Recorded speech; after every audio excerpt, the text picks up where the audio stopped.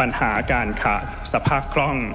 ของผู้ประกอบการนี่เป็นเรื่องใหญ่มากนำไปสู่เรื่องของการมีหนี้สินล้นพ้นตัวนะครับปัญหาการล้มละลาย แล้วก็จะเป็นอุปสรรคต่อการฟื้นตัวของเศรษฐกิจ ในการทำนโยบายมาตรการช่วยเหลือทางการเงิน เพื่อช่วย SME มีอย่างน้อย 4 มิติ มิติที่ 1 ก็คือการดูแล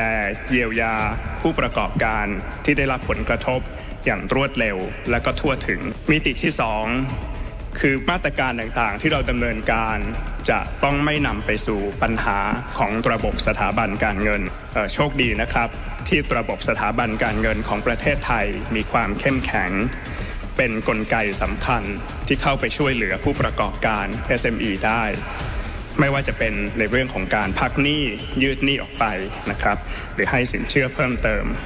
เมื่อสภาวะของการระบาดโควิด คลี่คลายลง เศรษฐกิจเข้าสู่ช่วงของการฟื้นตัว ระบบสถาบันการเงินจะต้องเข้มแข็ง เพียงพอที่จะปล่อยสินเชื่อใหม่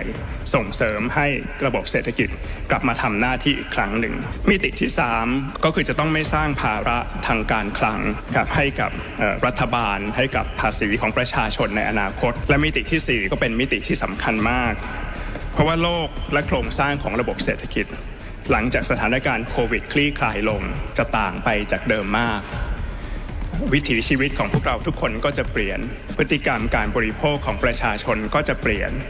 วิถีการทำธุรกิจของทุกธุรกิจก็จะเปลี่ยนนะครับ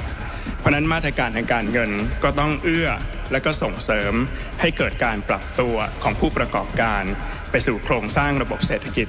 ในโลกใหม่หลังโควิดด้วย